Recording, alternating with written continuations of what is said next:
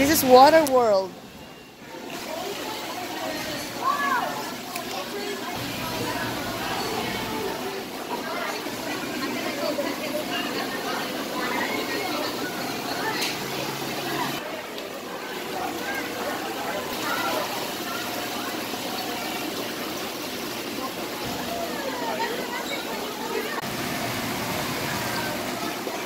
Not gonna drop. Thank you.